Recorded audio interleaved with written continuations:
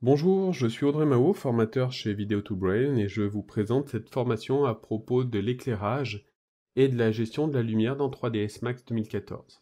Nous allons déjà aborder dans un premier temps la notion de lumière en tant que telle, c'est-à-dire comment la lumière nous environnemente-t-elle, quel est son rôle, l'ombre, quel est son rôle dans la couleur, quel est son rôle dans la notion d'éclairage, donc toutes ces notions-là vont être importantes pour après être en mesure d'utiliser les différents types d'outils présents dans 3ds Max et qui vont nous permettre de simuler un éclairage photoréaliste. Pour cela, nous verrons que nous avons à notre disposition des lumières classiques, c'est-à-dire qu'elles n'ont pas forcément d'unité de mesure, elles sont simplement liées à une quantité d'énergie. Nous verrons que nous avons d'autres sources de lumière qui vont être des lumières photométriques, c'est-à-dire qui ont la capacité de charger des fichiers que l'on va pouvoir récupérer sur Internet ou que des fabricants vont mettre à notre disposition, de façon à pouvoir créer des éclairages physiquement réalistes.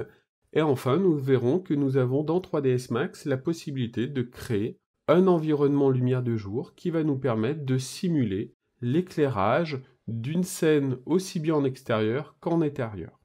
Donc nous verrons tout ça à travers des exemples et des petits cas concrets qui, je l'espère, vous permettront de commencer à comprendre la notion d'éclairage, les différents paramètres qui le constituent, afin de pouvoir créer des compositions photoréalistes.